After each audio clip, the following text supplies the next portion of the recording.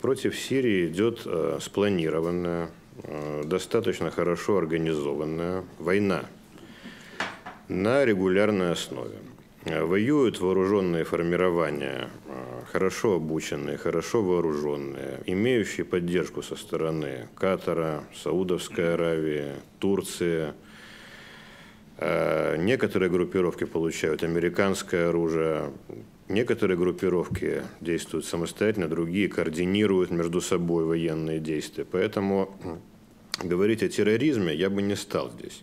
Терроризм – это а, просто неконвенциональный метод ведения войны. Здесь мы имеем дело с агрессией. Агрессией против Сирии, как против суверенного государства. Это очень важный момент.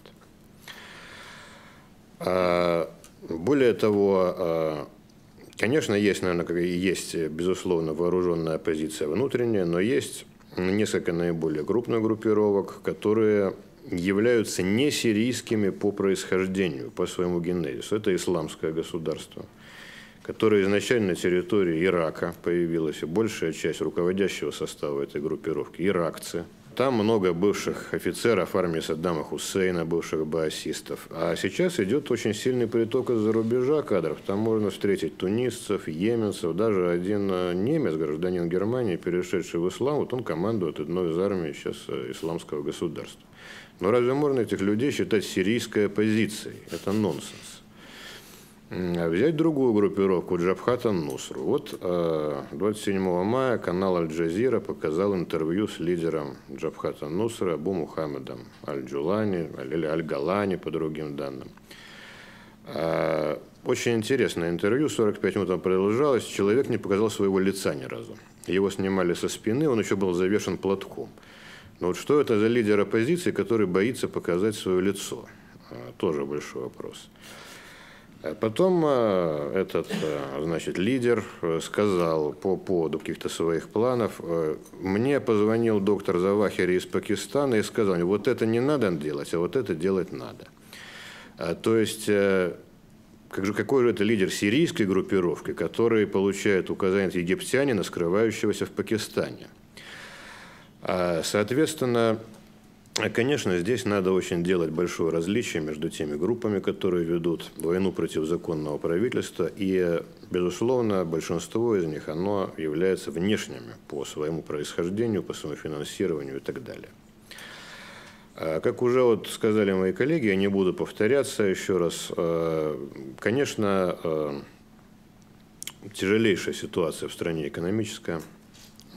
Экономика разрушена вот этими четырьмя годами войны – и э, вот Борис Васильевич э, сказал, что мы не заметили, двигаясь из Ливана в Сирию, никаких признаков войны, но это потому, что вот этот участок границы, благодаря усилиям сирийской армии, Хизбаллы, он был очищен уже от боевиков. Действительно, это спокойный участок. Но очень много регионов Сирии, где война идет, война полномасштабная, с применением тяжелых видов вооружения, разрушаются целые города, деревни, гибнут люди и так далее. И э, действительно 7 миллионов населения в Дамаске, действительно 85% населения Сирии, оно проживает на территориях, контролируемых правительством. Хотя правительство контролирует, э, ну, есть разные данные, потому что линия фронта меняется. Кто-то говорит половину страны территории, кто-то говорит 60%, кто-то больше. А, то есть э, большинство сирийцев просто не могут физически жить на территориях, контролируемых боевиками, что боевики не могут обеспечить элементарные какие-то вещи, там, подачу электроэнергии, э, медицинское обслуживание, прием беженцев, значит, раздачу ну, такой минимальной хотя бы продуктовой корзины уж совсем неимущим семьям, которых очень много там появилось.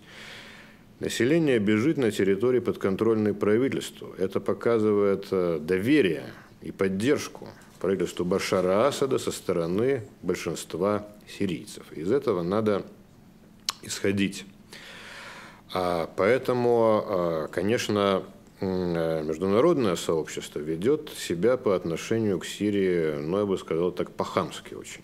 И очень жестоко. Если международное сообщество озабочено правами человека в Сирии, соблюдением этих прав, то сначала нужно, прежде всего, снять экономические санкции с Сирии. Это первым шагом будет. Вторым важным шагом, который должен быть предпринят, это должно быть прекращение внешней подпитки э, боевиков и противоборствующих группировок. Если такое финансирование, внешняя подпитка будет прекращена, то в течение полутора-двух лет – я считаю, что сирийцы между собой разберутся так или иначе. Э, самые экстремистские группировки будут уничтожены, с более умеренной правительство сядет за стол переговоров и найдет какой-то консенсус. Но пока будет продолжаться внешняя поддержка, будет продолжаться сирийский конфликт.